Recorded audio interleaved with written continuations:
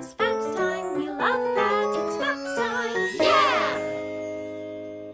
This is my best friend Ned. Hi, Ned. he tells me facts all the time because he is super duper smart. He told me a fact about a rainbow. Oh, did you know that this is the sign in Auslan for rainbow? Can you try it with me?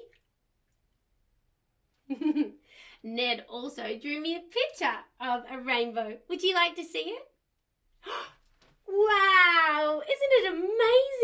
What a beautiful rainbow. Now, Ned told me a fact about how rainbows come about.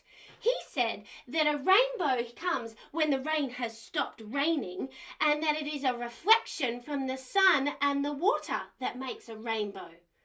I think it's a reflection of the sun hitting the light and then being reflected through the water up into the sky. That's pretty amazing. Maybe you could do some research with someone at home to find out more facts about rainbows. Super Jenny!